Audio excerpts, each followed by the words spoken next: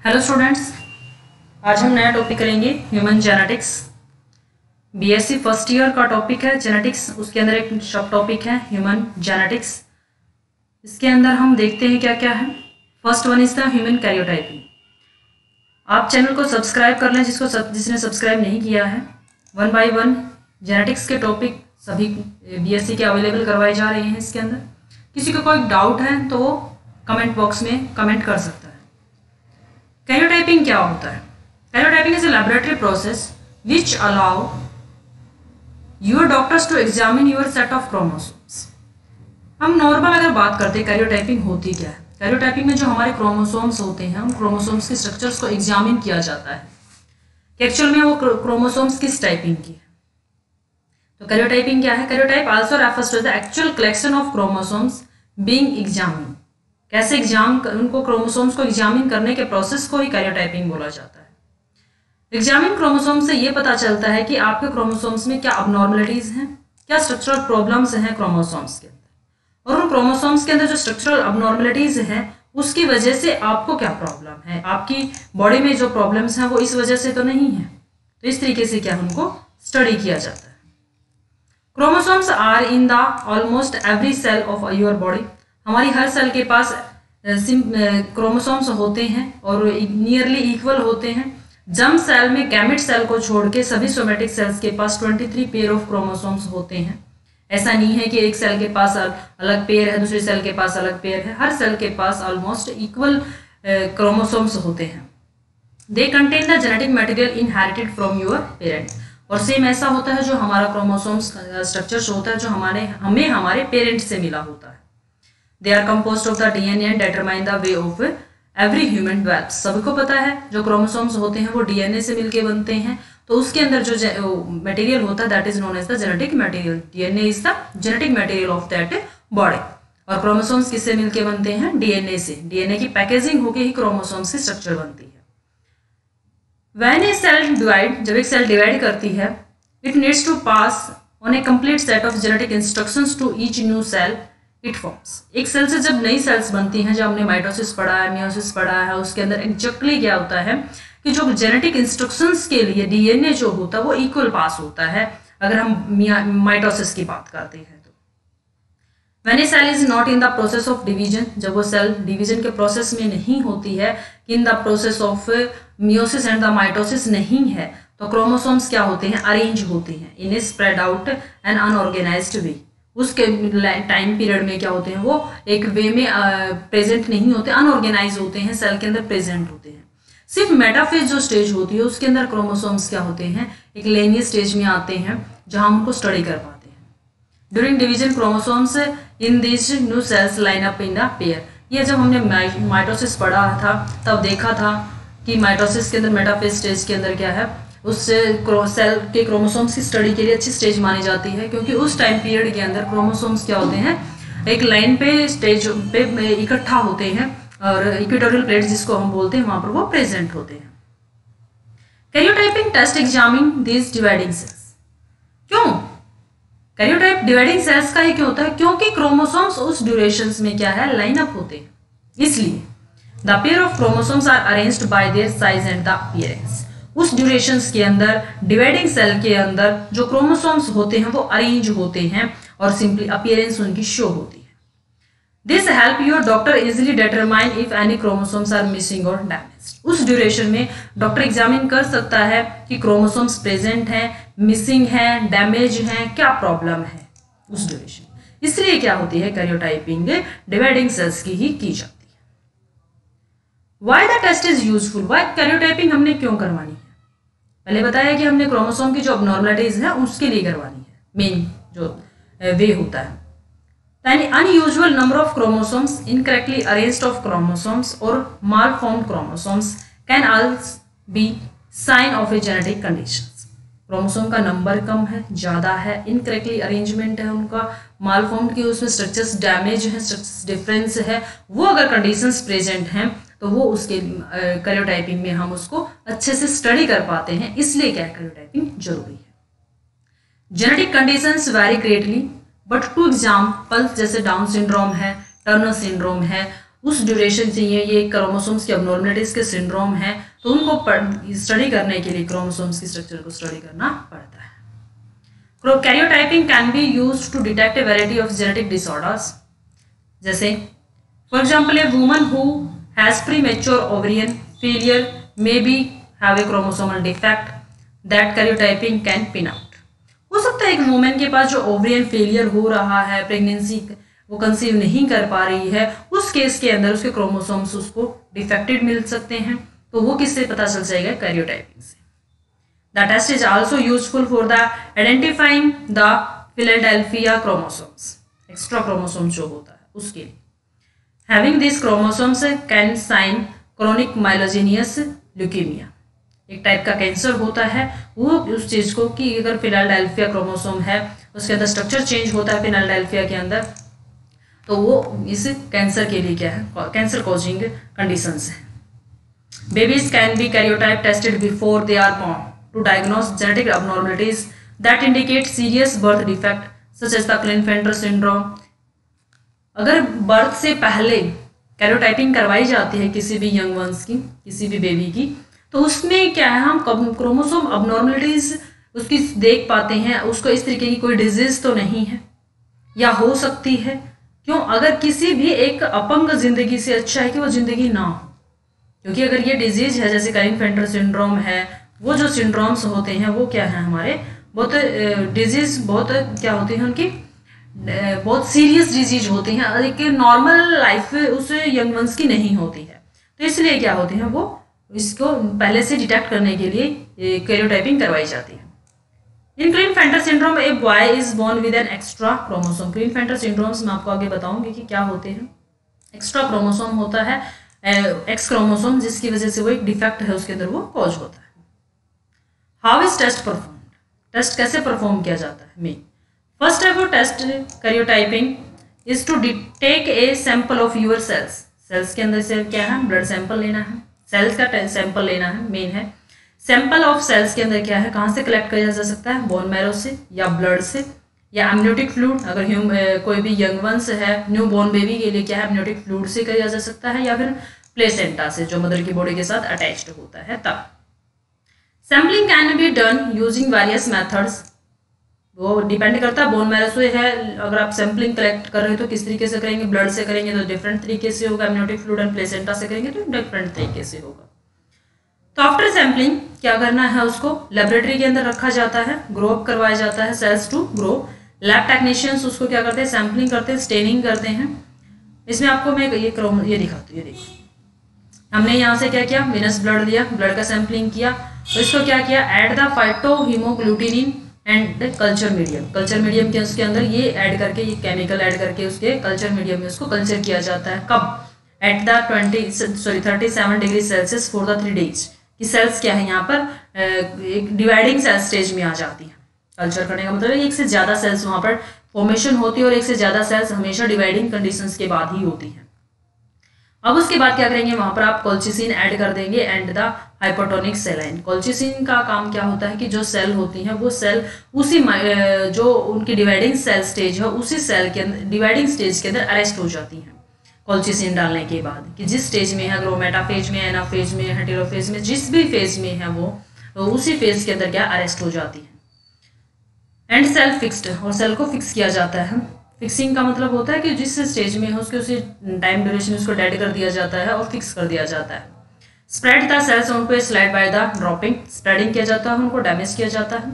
After that digest with the trypsin and the stain with the Giemsa ये staining होती है colouring colour जो होते हैं, इसके ऊपर डालने के बाद इन जो सेल्स होती हैं, उनके अंदर एक कलर प्रोड्यूस होता है, जिसकी वजह से हम उनको अच्छे से रिकॉग्नाइज कर पाते हैं। एनालाइज मेटाफेज स्प्रेड ज़्यादातर केस के अंदर हम किसको देखना चाहेंगे कि मेटाफेज के अंदर जहाँ पर number of chromosomes easily detect हो सकते हैं। क्योंकि टीलोफेज में वो कंप्लीटली कॉम्पैक्ट हो जाते हैं जाने के ये कैरियोटाइपिंग उसकी फिर क्या है? स्प्रेड होती है। जो उसके, जो माइक्रोस्कोप में एनालिसिस के बाद इस चीज़ के दिखाया जाता है। तो ये क्या है इसका? प्रोसेस ऑफ़ कैरियोटाइपिंग प्रेजेंट तो इसमें क्या देखना होता है? माइक्रोस्कोप में उसको क्रोमोसोम्स को देखने के बाद हम क्या उसमें से जस्टिफाई करेंगे? क्या देखेंगे? अगर उसमें कोई एक्स्ट्रा क्रोमोसोम है या फिर कोई मिसिंग है क्रोमोसोम या क्रोमोसोम का कोई पोर्शन मिसिंग है एक्स्ट्रा पोर्शन तो नहीं आ गया कोई क्रोमोसोम के पास? या फिर जो portion that have been broken off of one chromosome and reattach to another ऐसा तो नहीं है कि एक क्रोमोसोम से कोई पोर्शन टूट गया है उसका, और दूसरे क्रोमोसोम के पास जैसे यहाँ से टूटा है ये पोर्शन और दूसरे क्रोमोसोम के पास जाके क्या है? अटैच हो गया, एक एक्स्ट्रा आ गया है यहाँ पर। तो वो ऐसा कोई केस तो नहीं है।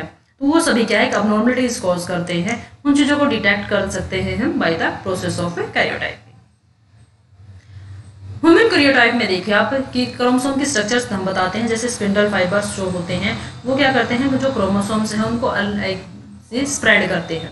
डिवीज़न करवाते हैं इसके, जैसे ये देखिए मेटासेंट्रिक जो होते हैं यहाँ पर जो सेंट्रोमियर है, वो कहाँ है? बिल्कुल मिडल में है वी सेप है। सेंट्रोमियर आर क्रूशियल सेंट्रोमियर किसके लिए ज़रूरी होता है? सेल डिवाइड करने के लिए सेल की डिवीज़न के लिए as they give the stability to the chromosome क्योंकि वो उस क्रोमोसोम को स्टेबिलिटी देते हैं। अब सेंट्रोमियर बेस करता है। सेंट्रोमियर कहाँ पर प्रेजेंट है? इसके अकॉर्डिंग क्या स्ट्रक्चर्स ऑफ़ क्रोमोसोम चेंज होते हैं। Centromere can be either localised और होरोसेंट्रिक एक ही जगह पर हो भी सकता है चेंज भी होता है। वैन लोकेलाइज्ड अगर वो प्रेजेंट है कि लोकेशंस के ऊपर तो सेंट्रोमियर के बेसिस पर क्रोमोसोम्स के टाइप्स डिफरेंट होते हैं। Metacentric chromosome sub metacentric acrocentric telocentric acentric अलग अलग होते हैं। मेटासेंट्रिक हमने देखा कि वी सेप का है, जहाँ पर क्रोमोसोम ये जो सेंट्रोमियर है, वो एक्जेक्टली कहाँ है? मिडल में प्रेजेंट है। सब मेटासेंट्रिक में क्या है कि दो आर्म्स हैं, वो क्या है? दोनों की दोनों, एक छोटी और एक बड़ी है, और क्रोमोसोम क्या है? एक तरफ़ ज़्यादा है। क्रोमोसोम्स के जो सॉरी सेंट्रोमियर है, वो एक तरफ़ कम है और एक तरफ़ ज़्यादा है, उसकी वजह से क्या वो सब मेटासेंट्रिक जिसमें जे सेप की स्ट्रक्चर बनती है। एक्रोसेंट्रिक बिल्कुल क्या है पॉइंट पे है, इस तरीके से। और ए सेंट्रिक क्या होता है क्रोमोसोम के ऊपर सेंट्रोमियर है ही नहीं। ए अपसेंट तो उसमें क्या है? दोनों के दोनों जो सेंट्रोमियर्स के बाद जो दोनों आर्म्स हैं क्रोमोसोम्स की small arms and the large arms दोनों के दोनों क्या है? अलग होते हैं। This is the type of chromosome on the basis of the centromere locations तो ये कैरियोटाइपिंग से ही पता चलता है कि किस तरीके से होता है। ये देखो। मेटासेंट्रिक एक्जैक्टली मिडल में है। सब मेट्रासेंट्रिक एक पॉइंट पे ज़्यादा है, एक पे कम है।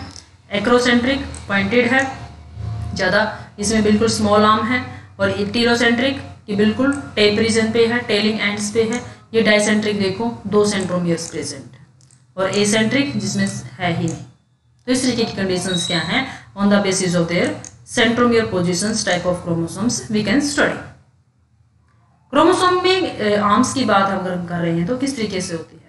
जो स्मॉल आर्म्स होती है that is denoted by the P arms P part और जो लॉन्ग आर्म होते हैं that is denoted by the Q याद करने का अच्छा तरीका है पी पहले आता है क्यू बाद में आता है तो पहले बड़े छोटे आते हैं, बाद में बड़े आते हैं। तो इस तरीके से हम उसको याद कर सकते हैं कि आगे जो छोटे आगे बच्चे होते हैं, वो छोटे खड़े किए जाते हैं। मतलब जो पहले आएँगे that is the P P पहले आता है that is the short arm structure Q बाद में आता है that is the long arm structure in between क्या प्रेजेंट है? सेंट्रोमियर सेंट्रोमियर का क्या काम होता है constructed point whether the two chromatids are hold together centromere दोनों आर्म्स को P and the Q arms both are connected by the centromere और ये किससे मिलकर बना होता है? डीएनए की कंपोजिंग से. Compactness of the DNA that cause the chromosomes DNA molecules present होते हैं इसके अंदर. क्या होते हैं? Strands of the DNA are formed into the compact structures inside the chromosomes by protein called the histone histone proteins chromosome बनते किससे हैं? DNA plus the histone protein basic proteins होते हैं बेसिक स्ट्रक्चर होती हैं, इनकी एसिडिक नहीं होते हैं तो वो कॉम्पैक्ट करके क्या क्रोमोसोम्स को फॉर्मेशन करते हैं। ये देखिए ह्यूमन का कैरियोटाइप ये chromosome number first second third fourth fifth male और फीमेल दोनों का है। सभी स्ट्रक्चर्स एग्जैक्टली एक जैसे दिखाई देंगे एक्स एंड वाई क्रोमोसोम्स के पास difference X chromosome and the Y chromosomes both are different is the X and Y both are present there is X X present because of the sex of female denoted by the xx and the male is denoted by the xy differences between the types of crops तो ये human का karyotype है। Structures देखो इसमें के अंदर क्या है? ह्यूमन के अंदर एक ग्रुपिंग किया गया है A B C D A F G एक से तीन जो नंबर ऑफ़ क्रोमोसोम्स है, वो लार्जेस्ट होंगे और मेटासेंट्रिक होंगे। फोर्थ और फिफ्थ क्रोमोसोम मीडियम साइज़ का होगा और सब मेटासेंट्रिक होगा। पोजीशन भी डिफाइन की गई है कि कैसा है सेंट्रोमियर की पोजीशन सिक्स टू ट्वेल्व से होंगे मीडियम और सब मेटासेंट्रिक होंगे। थर्टीन टू फिफ्टीन मीडियम होंगे एक्रोसेंट्रिक होंगे और सेट क्रोमोसोम भी प्रेजेंट होगा सेटेलाइट क्रोमोसोम जिसको हम बोलते हैं। Sixteen to eighteen medium size है शॉर्ट है मेटासेंट्रिक और सब मेटासेंट्रिक हो सकते हैं। दोनों केसेस में कोई भी हो सकता है। नाइनटीन टू ट्वेंटी शॉर्ट और मेटासेंट्रिक होंगे twenty two twenty one smallest होंगे मेटासेंट्रिक होंगे। अगर वाई क्रोमोसोम है तो वहाँ पर क्या है? वाई क्रोमोसोम की टाइप्स का प्रेजेंट होगा। इसके साथ साथ क्या है? वाई क्रोमोसोम भी इसके अंदर एडजस्ट किया जाता है। तो इस तरीके से क्या है? ये फिक्सिंग है। किस तरीके के ही क्रोमोसोम प्रेजेंट होने चाहिए ह्यूमन के अंदर? अगर चेंज है तो कोई ना कोई अबनॉर्मलिटीज उसके अंदर प्रेजेंट है। अब है कि क्रोमोसोम के अंदर हम चेक कैसे करेंगे उसके बेंडिंग टेक्निक होती है, जिसको हम क्रोमोसोम बेंडिंग टेक्निक बोलते हैं। In 1960 a Swedish geneticist Torbjörn Kaspersons developed the stain chromosome difference. Chromosome को अलग अलग स्टेन से स्टेनिंग करना, ये स्वीडिश जेनेटिक्स ने डेवलप किया था। नाम था उनका कैस्पर्सन्स क्या कर, किया था उन्होंने? To obtain chromosome to a band a scientist must take a culture of cells in the process of meiosis यहाँ पर क्या कहा उन्होंने? स्पेसिफिक कहा कि क्रोमोसोम के बैंड्स को अगर प्रोवाइड करवाना है हमें तो वो सेल किस फ़ेज़ में होनी चाहिए? Meiosis swell the cells in the hypotonic solutions and spread the chromosome उस सेल को किसी भी हाइपोटोनिक सॉल्यूशन के अंदर डाल दीजिए, जिसकी वजह से उसके अंदर स्वेलिंग हो जाएगी। हाइपोटोनिक ये आप लोगों ने हाइपोटोनिक सॉल्यूशन और हाइपोटोनिक सॉल्यूशंस पढ़े होंगे, जिसके अंदर जो कंसंट्रेशन ऑफ़ साल्ट है या फिर कंसंट्रेशन ऑफ़ सोल्यूट है दैट इज़ डिफरेंट और अगर हाइपोटोनिक सॉल्यूशंस में डालते हैं, बाहर के सॉल्यूशन के पास क्या होते हैं कि उसमें वाटर की कंपोनेंट वाटर ज़्यादा होता है इट मीन्स सॉल्यूशन ज़्यादा सॉल्वेंट ज़्यादा होता है और सेल के अंदर कम होता है। तो जो सेल जिस तरीके से अगर हम बात करते हैं, ये सेल है। इसके अंदर वाटर का कंपोनेंट कम है। और बाहर का जो एनवायरनमेंट है, जिसके अंदर उसको डाला है that is the hypotonic solutions उसके अंदर वाटर ज़्यादा है। तो वाटर क्या करेगा? इस बाहर वाले एनवायरनमेंट से अंदर जाएगा तो सेल क्या कर जाएगी? स्वेल कर जाएगी, इसलिए। और वहाँ पर क्या होंगे? जो क्रोमोसोम्स हैं, वो स्प्रेड हो जाएँगे। Switch the cells in the metaphase one by the mixing them with the colchicine colchicine का टाइम मैंने आपको कहा कि वो उसको अरेस्ट कर देती है सेल को। किस स्टेज में अरेस्ट करती है? वो हमेशा मेटाफेज के अंदर अरेस्ट करती है। या फिर उसके अंदर एक स्पेसिफिक पीरियड होता है जिसमें वो उसको सेल को उसी टाइम ड्यूरेशन में उसको अरेस्ट कर देती है, उससे आगे जाने नहीं देती है। क्यों नहीं जाने देती है? मेन रीजन ये होता है उसका कि जैसे हमने यहाँ बात की आपको, ये स्पिंडल फाइबर्स जो होते हैं, ये स्पिंडल फाइबर्स नहीं बनने देती क्रोचिसिन तो वो क्या है? वहीं पर अरेंज हो जाते हैं। इसलिए। तो कोल्चिसिन के बाद क्या हो जाती है? वो मेटाफेज वन के अंदर से अरेस्ट हो जाएगी cell switch the chromosomes into a single line अब क्या हो? मेटाफेज के अंदर एक ही लाइन पर प्रेजेंट होते हैं, सबको पता है। सेल क्रोमोसोम स्टडी स्टेज होती है वो। And then prepare them for specific banding techniques अब उनको स्पेसिफिक बैंडिंग टेक्निक्स के लिए प्रिपेयर किया जाता है। ये बैंडिंग्स अलग अलग होती हैं, बताएँगे हम इसके अंदर क्या होता है। Caspersson discovered that the stain quinacrine quinacrine mustard show light and the dark bands along a chromosomes जब उन्होंने स्टेन ये लिया क्वेनेक्रीन तब बैंड्स कैसे मिले? एक डार्क बैंड था, एक लाइट बैंड था। एक डार्क था, एक लाइट बैंड था। इस तरीके के बैंडिंग क्या है? Present this banding techniques allow the most accurate identification of 22 autosomes and X and the Y chromosome जिसकी वजह से हम सभी क्रोमोसोम्स को डिफ्रेंशिएट कर पाए। 22 ऑटोसोम्स को अलग से डिफ्रेंशिएट कर पाए और एक्स एंड वाई क्रोमोसोम को अलग से डिफ्रेंशिएट कर पाए। This technique also could identify abnormalities missing chromosomes and extra chromosome in a cell और इस सेल को, इसको क्या बोलते हैं? क्यू बेंडिंग क्योंकि हमने यूज़ क्या किया है इसके अंदर? क्वेनक्रीन क्वेनक्रीन अगर हम यूज़ करते हैं तो उस बेंडिंग टेक्निक्स को बोला जाता है Q banding types of banding different है. ये देखते हैं हम. मेन देखते हैं फ़र्स्ट की बेंड होता क्या है? ये बेंडिंग है. जैसे लाइट बैंड है डार्क बैंड है लाइट बैंड है डार्क बैंड है. ये पी एंड क्यू हमने बता दिया था. P is the short arm Q is the long arm of the chromosomes telomerase that is the tail part of the chromosome is the telomere centromere is the central part where is the centromere where is the p and small arm and the large arm of the chromosome is jointed तो ये क्या है इसका part है तो ये small band ये band होता क्या है Paris conference in the 19 71 defined a band as a part of chromosome which is clearly distinguishable from its adjacent segment by appearing darker or lighter with various bending techniques. क्या बताया इन्होंने कि ये band से क्या है पोर्शन ऑफ़ क्रोमोसोम है दूसरे पोर्शन ऑफ़ क्रोमोसोम से अलग दिखाई देता है। किस वजह से? या तो ये लाइट है या फिर ये डार्क है, इस वजह से। किस वजह से होगा ये लाइट या डार्क कोई भी स्टेन जो हमने यूज़ किया है, उस स्टेनिंग प्रोसेस की वजह से। तो ये होता है बेंड अब बेंडिंग टेक्निक्स हम देखते हैं। क्यू बेंडिंग होती है जी बेंडिंग होती है एन बेंडिंग होती है सी बेंडिंग होती है और एक अलग तरह की बेंडिंग और भी होती है। आगे भी बताएँगे। क्यू बेंडिंग में क्या है? क्वेनेक्रीन यूज़ किया गया है। जी बेंडिंग के अंदर जिम्सा यूज़ किया गया है। एन के अंदर एनओआर यूज़ होता है? सी के अंदर सेंट्रोमेरिक होता है। ये जिसने डिस्कवर किए थे वो बताया गया है क्यू बेंडिंग है कैसपर्सन ने यूज़ की थी। एटॉल का मतलब होता है कि उसके साथ और भी उसके साथी थे। जिम्सा बेंडिंग को 1971 के अंदर स्मर ने यूज़ की थी डिस्कवर किया था सॉरी एनओआर को 1973 के अंदर मस्तुआई और ससा, ससाकी ने यूज़ किया था डिस्कवर किया था। 78 के अंदर लिंडेन एंड द लुसरसिन सेंट्रोमियर या सॉरी सी बेंडिंग है जो उसको डिस्कवर किया था, उसको डेवलप किया था। ये देखो chromosome banding Q banding G banding and C banding क्या है? डिफरेंस देखते हैं। Q banding chromosome stain with the fluorescent dye such as the fluorescent dye क्या होती है? जिसके ऊपर जब लाइट डलती है फ्लोरेसेंट लाइट जब डलती है तो उसकी वजह से एक कलर प्रोड्यूस होता है, एक साइनिंग प्रोड्यूस होती है। उसको हम बोलते हैं फ्लोरिसेंस। जी बेंडिंग के अंदर क्या यूज़ होगा? Giemsa banding after Giemsa staining कैसे? After digest the chromosome with the trypsin chromosome को ट्रिप्सिन से डाइजेस्ट करवाया जाता है। ट्रिप्सिन की वजह से जो उसके ऊपर प्रोटीन्स होते हैं हिस्टोन प्रोटीन्स वो टूट जाते हैं।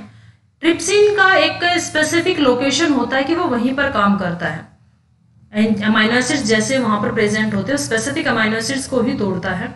उसके बाद उसको क्या है? जी, जो जिनसा स्टेन है, उसके साथ मिक्सिंग कर दिया जाता है जिनसा स्टेन से उसको स्टेनिंग किया जाता है।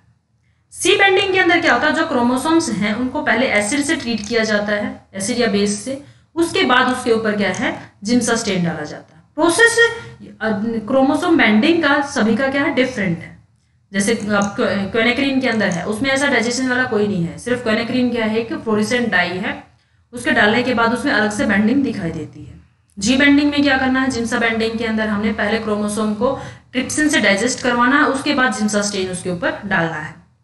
सी बेंडिंग के अंदर क्या किया जाता है? पहले क्रोमोसोम को एसिड या बेस के साथ ट्रीट करेंगे, उसके बाद उसके अंदर जिम्सा स्टेन का यूज़ किया जाता है। That is the difference between the different types of the banding techniques अब इसके एडवांटेज और डिसएडवांटेज देखते हैं। हमने जी बेंडिंग की बात की जिम्सा बेंडिंग की। पहले हम क्रोमोसोम को ट्रिप्सिन से डाइजेस्ट करवाएँगे, उसके बाद जिम्सा स्टेन को यूज़ करके बेंडिंग से है जो क्रोमोसोम के ऊपर वो स्टडी करेंगे। एडवांटेज क्या है इसकी? Use in the identification of the band rich in the sulphur content जहाँ पर सल्फ़र मोलिक्यूल्स ज़्यादा होंगे, वो उन बैंडिंग बैंड्स को ज़्यादा से अच्छे से दिखाएगा। Use in the identification of chromosomal abnormalities chromosome के अंदर जो अबनॉर्मलिटीज हैं, उनको अच्छे से दिखाता है। जीन की मैपिंग अगर हमने करनी कि जीन्स किस तरीके से प्रेजेंट है क्रोमोसोम्स के ऊपर, क्या सीक्वेंसिंग है उसकी, वो उसको दिखाता है। डिसएडवांटेज क्या है कि इसको प्लांट्स के अंदर यूज़ नहीं कर सकते। क्रोमोसोम्स तो प्लांट्स के अंदर भी प्रेजेंट होते हैं अबनॉर्मलिटीज तो वहाँ भी होती हैं तो हम जिन सब बेंडिंग को या फिर जी बैंडिंग को वहाँ पर यूज़ नहीं कर सकते। क्यों बैंडिंग क्वेनेक्रीन जो हमने की थी सिंपल है वर्सेटाइल है, बहुत ज़्यादा यूजेबल है। Use where the G band is not accepted जहाँ पर जिम्सा काम नहीं करती, वहाँ पर क्यू बेंडिंग टेक्निक को यूज़ किया जाता है। Use in the study of the chromosome heteromorphism एक क्रोमोसोम दूसरे क्रोमोसोम से डिफरेंट किस तरीके से है मॉर्फोलॉजी डिफरेंट किस तरीके से है, वो सब चीज़ें स्टडी करने के लिए क्यू बेंडिंग को यूज़ किया जाता है। डिसएडवांटेज क्या है? Tendency to fade during the examination fluorescent dye है, उसके अंदर फेडिंग हो सकता है। फ़ोटो डिग्रेडेशन लाइट की वजह से डिग्रेडेशन डैमेज हो सकता है। क्रोमोफोर ऑब्जॉर्ब जो क्रोमोफोर के अंदर यूज़ किया जाता है लाइट प्रोड्यूसिंग केमिकल्स जो यूज़ किया जाता है absorb light of a particular wavelength due to the chemical bond formed between the dye and the light इस क्रोमोफोर के बीच में एक वे, पार्टिकुलर वेवलेंथ है जो लाइट की उसी की बॉन्डिंग से होगी उसको वो ऑब्जॉर्ब भी कर लेता है। और उसकी वजह से बेंडिंग टेक्निक्स भी थोड़ी सी डिफ्यूज होती है थोड़ी सी डिफ्रेंशिएट होती है। UV light break the chemical bonds UV damage कर सकती है क्रोमोसोम्स को. क्रोमोसोम की अबनॉर्मलिटीज़ में यूवी लाइट्स जो है वो भी रोल प्ले कर सकती हैं. हो सकता है वो बेंडिंग कि वो जो अपनोमलिटीज इसके अंदर दिखाई गई है क्यू बेंडिंग के बाद, वो ज़रूरी नहीं है कि उसके उस ऑर्गेनिज्म के अंदर हो हो सकता है वो यूवी लाइट की वजह से हो. तो ये डिसएडवांटेज है. ये क्रोमोसोम बैंडिंग में अगर हम आपको अलग अलग बताते हैं, क्यू बैंडिंग में क्वेनेक्रीन वही बात है किसमें ये एरिया किसको सबसे ज़्यादा यूज़ करता है? जो हमने स्पेसिफिक कहा क्वेनेक्रीन के अंदर एटी रिच जो डीएनए है, पार्ट है जो क्रोमोसोम के अंदर, क्योंकि क्रोमोसोम किससे बना है? डीएनए से। डीएनए के अंदर क्या है? प्यूरिन एंड पायरामिडिस के बेसिस हैं जो न्यूक्लियोटाइड बेस पेयर है, वो क्या है? प्रेजेंट है, वो न्यूक्लियोटाइड बेस पेयर जहाँ पर एटी रिच हैं, वहाँ पर क्या है? सबसे ज़्यादा क्यूब एंडिंग उसको अफेक्ट करेगा। इफ़ेक्ट में क्या है? कि कैसे करेगा? यूवी लाइट्स के अंदर डिस्टिंक्ट फ्लोरेसेंट डाई है जो फ्लोरेसेंस बैंड के अंदर यूज़ करेगी, जाएगी। जी बैंडिंग के अंदर जिम्सा स्टेन यूज़ किया जाता है। कहाँ पर करता है ये भी रिपीटेटिव एटी रिच डीएनए जो होता है क्रोमोसोम आर्म्स के पास, वहाँ पर सबसे ज़्यादा यूज़ किया जाता है। उसी को प्रोड्यूस करेगा। डिस्टिंक्ट बैंड पैटर्न अलग अलग दिखाई देंगे। Same as the Q bending pattern, except single additional band near the centromere of the chromosome 1 and 16 1 और 16 के पास है। अगर हम सेम बात करते हैं क्यू बैंडिंग भी करवाई है और जी बैंडिंग भी करवाई है तो क्यू और जी बैंडिंग में नियरली सेम चीज़ें होती हैं। सिर्फ़ वन टू सिक्सटीन जो क्रोम, वन और सिक्सटीन जो क्रोमोसोम है, उसके पास एक एडिशनल बैंड दिखाई देता है। ये डिफरेंस है। आर बैंडिंग ये डिफरेंस करता है कि कैसी टेक्निक से है सी बैंडिंग भी डिपेंड करता है किस तरीके से। क्रोमोसोम कैसे होंगे यहाँ पर? जीसी रिच होंगे। आर बैंडिंग के अंदर क्या होंगे? वो डीएनए का वो पार्ट या फिर क्रोमोसोम का वो पार्ट सबसे ज़्यादा दिखाई जाएगा, जहाँ पर जीसी की बॉन्डिंग है। क्योंकि यहाँ पर दोनों के इसके अंदर क्या थी? एटी की बॉन्डिंग ज़्यादा थी। एडनिन थायमिन यहाँ पर ग्वानिन साइटोसिन की reverse banding pattern of that observe with the Q and the G banding exactly opposite है क्योंकि यहाँ पर एटी रिच को दिखाया जा रहा था, यहाँ पर क्या है? जीसी रिच को दिखाया जा रहा है। क्योंकि चार ही तरीके के यूज़ किए जाते हैं एडनिन थायमिन और ग्वानिन साइटोसिन यूरासिल तो आरएनए के अंदर यूज़ होता है। तो इसमें क्या है एग्जैक्टली अपोजिट ही होगा, क्योंकि वहाँ डिफरेंट है। सी बैंडिंग के अंदर क्या होता है? Centromere region of each chromosomes and distinct portion of the Y chromosomes इसको दिखाई देगा। सेंट्रोमियर रीजन कैसा होता है? और वाई क्रोमोसोम का डिस्टल पोर्टल पोर्शन जो होता है लास्ट पोर्शन जो होता है, वो कैसा है? और एटी रीच रीजन अब इसमें क्या होगा? लार्जेस्ट बैंड्स जो होते हैं usually on the chromosome one nine sixteen and the Y पे, और chromosome seven ten and the fifteen have medium size bands size of the C band highly variable from person to person ये different होता है। Eighty reach कितने reason हैं ये variations DNA की या फिर डीएनए फिंगरप्रिंटिंग में ये डिफरेंस होता है। एटी रीच किसमें ज़्यादा है जीसी की बैंडिंग कैसी है वो सब्ज़ी बैंडिंग क्या है डिफरेंट होती है पर्सन टू पर्सन अगर हम हमने कैरियोटाइपिंग कर, कर लिया है उसमें अबनॉर्मलिटीज किस तरीके से आए? अबनॉर्मलिटीज में भी दो तरीके की अबनॉर्मलिटीज हैं। या तो ऑटोसोम्स की हैं या फिर सेक्स क्रोमोसोम की हैं। अबनॉर्मलिटीज में अगर हम बात कर रहे हैं ऑटोसोमल की तो ऑटोसोम्स में किस तरीके से आते हैं? एक होता है ऑटोप्लॉयडी एक एक एन्यूप्लॉइडी होती है, एक एप्लॉयडी होती है। एन्यूप्लॉइडी में क्या है कि जो नंबर ऑफ़ क्रोमोसोम्स है, वो चेंज होते हैं। इसमें जैसे वन चेंज हो गया टू चेंज हो गया, इस तरीके से। और एक एप्लॉयडी होती है, जिसके अंदर एग्जैक्टली क्रोमोसोम नंबर क्या है? सेट ऑफ़ क्रोमोसोम चेंज है। अगर हम ऑटोसोम्स की इसमें बात करते हैं तो फ़र्स्ट क्या है? डाउन सिंड्रोम डाउन सिंड्रोम में क्या होगा trisomy of the twenty one chromosome twenty one chromosome के अंदर एक पोर्शन होमोलोगस पेयर का एक और मिलेगा। ट्राइसोमी होमोलोगस में क्या है? डबल सेट होता है वैसे हमारे पास क्रोमोसोम का, दो सेट है, लेकिन यहाँ पर क्या होगा तीन सेट एडवार्ड में ट्राइसोमी किसकी है? एटीन क्रोमोसोम की। पटाओ सिंड्रोम में ट्राइसोमी थर्टीन सिंड्रोम की। टर्नर सिंड्रोम में एक्स क्रोमोसोम एक्स्ट्रा होगा। क्लिनफेंटर सिंड्रोम के अंदर वाई क्रोमोसोम एक्स्ट्रा होगा। सॉरी एक्स क्रोमोसोम किसके अंदर एक्स्ट्रा होगा? मेल के अंदर। मेल का जीनोटाइप है क्योंकि यहाँ पर वाई प्रेजेंट है तो ये क्या है? इसमें एक एक्स क्रोमोसोम ज़्यादा है। Triple X chromosome super female जिसको हम बोलते हैं, ये एक्स क्रोमोसोम ज़्यादा होंगे। एक्स एक्स वाई यहाँ पर भी क्या है? मेल के अंदर एक एक्स क्रोमोसोम ज़्यादा है। तो ये क्या है इसके अंदर? डिज़ीज़ जो होती हैं, वो क्रोमोसोम बेसिज होती हैं। सेक्स क्रोमोसोम में हमने बताया, अगर एक्स ओ एक प्रेजेंट ही नहीं है यहाँ पर एबसेंट हो गया है। एक्स प्रेजेंट है ना यहाँ एक्स प्रेजेंट है ना वाई प्रेजेंट है that is the Turner syndrome X X Y एक एक्स्ट्रा एक्स क्रोमोसोम हो गया that is the Klinefelter syndrome X Y Y double Y syndrome क्योंकि दो वाई आ गए सुपर मेल ये क्या आ गया? यहाँ पर क्या है? ट्रिपल एक्स है trisomy X syndrome super females जिसको हम बोलते हैं। Super female and the super males क्योंकि अगर वाई प्रेजेंट है वहाँ पर तो वो क्या है? एक्जैक्टली मेल होता है। इस चीज़ को डिफाइन करता है। वाई चाहे सिंगल प्रेजेंट है, तब भी वो मेल का ही जीनोटाइप शो करता है। तो इसमें ये कहा गया है। ओ वाई और Y Y no living human with this genotype जो चीज़ें स्टडी नहीं की जाती बायो में वो चीज़ें पढ़ाई नहीं जाती।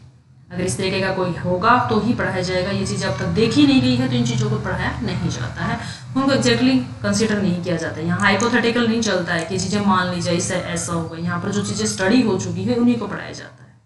तो the abnormalities of the chromosomes on the basis of the karyotyping we can study thank you students आपको टॉपिक करवा दिए गए हैं। किसी को कोई डाउट है तो आप मेरे को इसके अंदर बता सकते हैं कमेंट बॉक्स के अंदर।